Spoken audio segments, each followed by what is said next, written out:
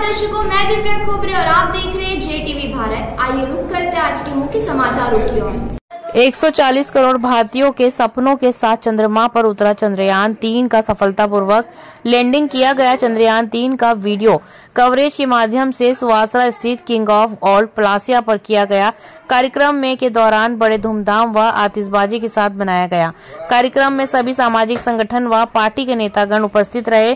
चंद्रयान तीन सफलता के बाद गणेश जी की पूजा अर्चना कर आरती की गई।